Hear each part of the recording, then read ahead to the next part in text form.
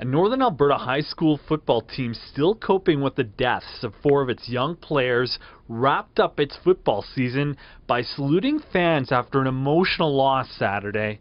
The Grande Prairie Warriors lined across the field at Clarke Stadium after getting handed a 49 0 defeat by an overpowering Bev-Facey Falcons team from Sherwood Park in the Northern semi-final. It's just incredible to have had uh, this journey with these young men.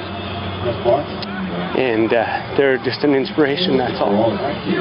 Matthew Deller, Vincent Stover, Walter Borden Wilkins, and Tanner Hildebrand lost their lives in an October 22nd crash. Another teammate, Zach Judd, is still in an Edmonton hospital with a coma. However, his brother says his condition is improving. We didn't win for him.